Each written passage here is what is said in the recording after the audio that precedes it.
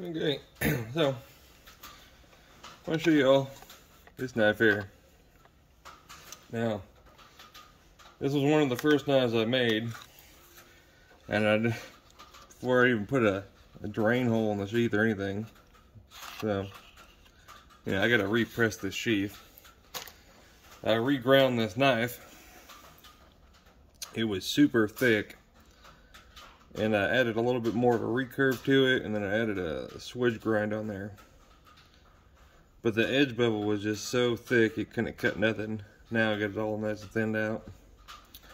I think it's 3 16 thick and it's uh, made from a leaf spring.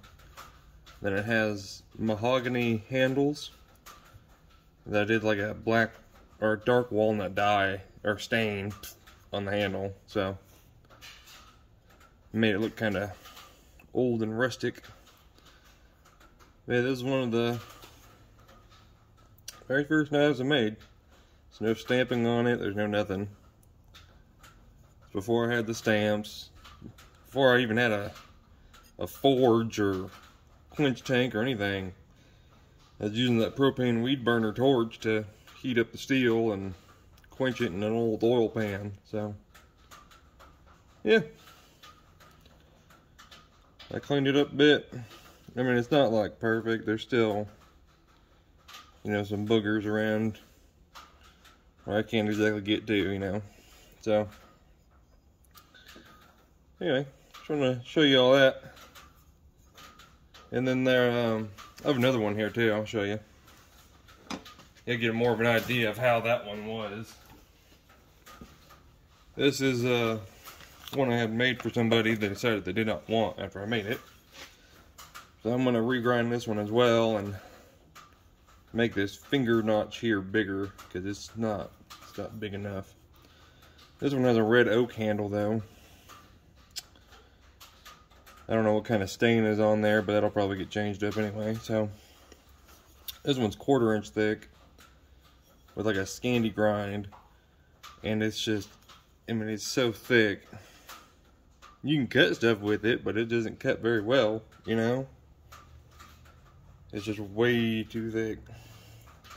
It'd be a great little skinner. Get this finger groove bigger and then, I don't know, do like a full flat grind on it or something.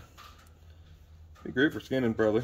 So, I'll end up redoing this one, but you can see like the finish on here is only like 120 grit and then I had to hand sand everything and it didn't I tried to polish it up the edge with the stones and everything else and it just did not come out how I wanted it. Because this was before I even had higher grit belts. My highest grit belt was only 120 grit. So yeah. And I was using scrap wood for the handles. That's why they all have wood handles. But anyway I'm gonna give this knife away. I'm gonna, um, I don't know, just comment on this video if you want to enter the giveaway, and uh, I'll let it run for like a week, I guess, and then put everybody's name in a hat, pick a, pick one, send it out. So if you want to enter the giveaway for this, put my uh, my dog's name in your comment. His name is Harvey. So if I see the name Harvey in your comment, I will put you in for the giveaway. Alright? So, so if you want this, like I said, mahogany handle, brass pins, there's no lanyard tube. Uh, but it's at least 3 16 thick, maybe a little thicker little recurve, full convex grind.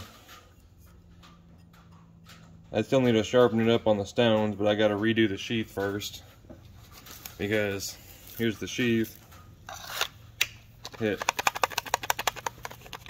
Like it still clicks in there and everything, but it is so loose because of how much steel I ground off this knife. So I'm just to heat this up and repress it. And then rewrap it for the belt loop yeah. There's also leaf spring steel, so it should be like 5160 or so, somewhere around there. So, anyway. Alrighty, go. Like I said, leave a comment with Harvey in it if you want to enter. And, uh, yeah, y'all have a good one.